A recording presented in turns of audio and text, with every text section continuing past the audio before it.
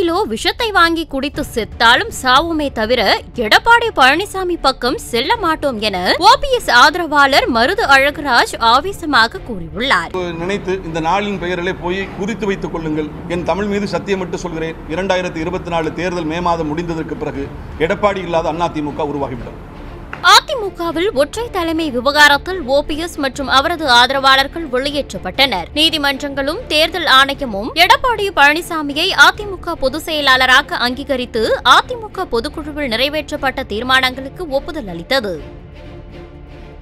இதைத் தொடர்ந்து ஓபிஎஸ் தரப்பு அதிமுக கொடி சின்னம் லெட்டர் பேட் உள்ளிட்டவற்றை பயன்படுத்தி வந்த நிலையில் அதற்கும் உயர்நீதிமன்றம் இடைக்கால தடை விதித்தது. இது தொடர்பாக ஓபிஎஸ் தாக்கல் செய்த மேல்முறையீட்டு மனு மீதான வழக்கு ஒத்திவைக்கப்பட்டுள்ளது. இதனால் ஓபிஎஸ் மற்றும் அவரது ஆதரவாளர்கள் காரில் அதிமுக கொடியின்றி பயணித்து வருகின்றனர்.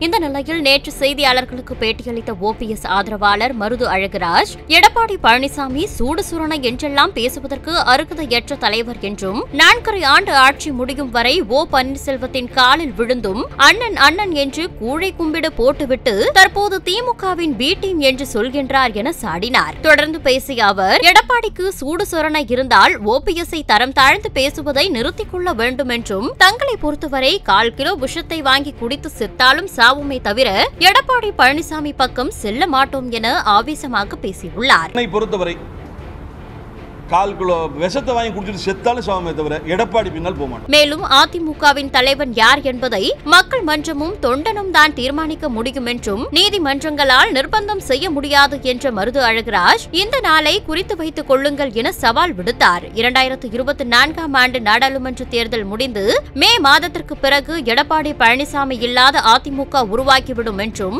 எடப்பாடி பழனிசாமி சீமானுக்கு பிறகு நான்காவது இடத்திற்கு போவார் என தெரிவித்துள்ளார். செய்திகளை உள்ளது உள்ளபடி தெரிந்து கொள்ள ரெஃப்ளெக்ட் நியூஸை சப்ஸ்கிரைப் பண்ணுங்க.